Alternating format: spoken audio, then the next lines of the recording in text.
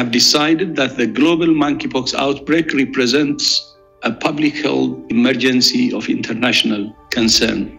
On July 23rd, the World Health Organization declared monkeypox a public health emergency of international concern. We have an outbreak that has spread around the world rapidly through new modes of transmission about which we understand too little. As cases have spread throughout 2022, Storyful has been verifying content posted online. The virus, which resembles smallpox, can be transmitted from one person to another through close contact with lesions, body fluids, respiratory droplets, and contaminated materials such as bedding. Monkeypox is not classified as sexually transmitted disease. The disease, which was first recorded in 1970, has a fatality rate of 3 to 6%, according to the WHO. In 2022, deaths have been recorded in Spain, Brazil, and India. Historically, reported cases have mostly been restricted to Central and West Africa. The first outbreak outside the continent was in 2003, when at least 70 people in the US contracted the disease. As of August 11, 2022, a total of 89 locations around the world were reporting cases of monkeypox. 82 were countries that had not historically reported cases of the virus. A total of 31,800 cases have been reported worldwide this year, according to the United States Centers for Disease Control.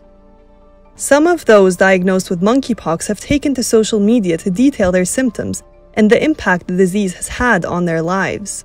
This disease and virus is spreading quickly, and there is not enough information for people to know what they're doing and how to help. I was just lying on the sofa and uh, I wasn't able to move and I wasn't able to sleep because fever and the shivers and the body pain was too much to handle. I wanted to post about this to spread awareness and remind people to check their bodies, especially during Pride Month when there will be lots of large gatherings with lots of close human contact.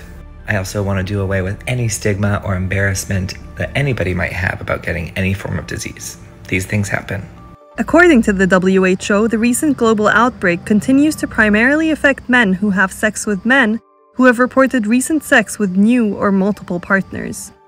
The organization has been clear in dispelling homophobic reactions to the spread of the virus.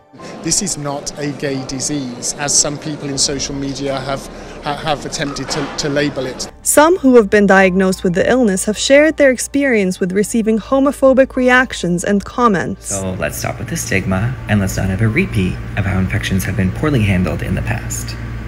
Members of the LGBT community have been critical of the government response online and in person.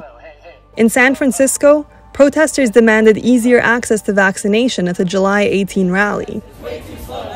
On July 21st, New York City residents gathered in Manhattan's Foley Square for a protest calling for public health care and vaccination. Protesters called for funding for public health and widespread vaccination efforts that include sex workers, people of color, and transgender, gender nonconforming, and non binary people. They called attention to the management of previous public health issues in the US, including COVID 19 and HIV.